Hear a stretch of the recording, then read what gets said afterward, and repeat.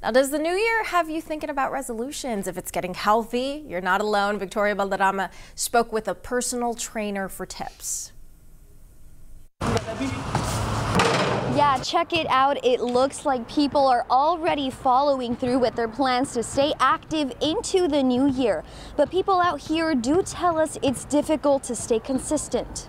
Since my break happened, I I kind of gotten off track a little bit. So uh, I guess uh, getting back into and going to the gym and staying staying fit's one of my goals. For Garnett Scott, leading a healthy lifestyle means going to the gym, but for his brother Brennan, it's more about how he feels.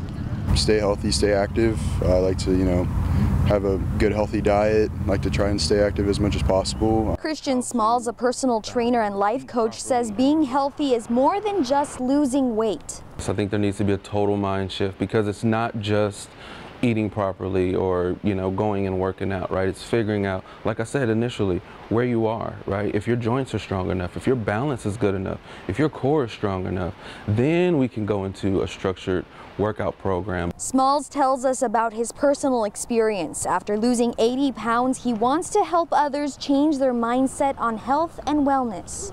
And i realize if i don't change my life I'm not going to be around to enjoy my family. Smalls will be hosting a health and wellness conference and expo to share information on how to meet your personal goals. We have that QR code to sign up. And if you'd like more information on how to stay healthy into the new year, visit our website, kristv.com. In Corpus Christi, I'm Victoria Valderrama, KRIS 6 News.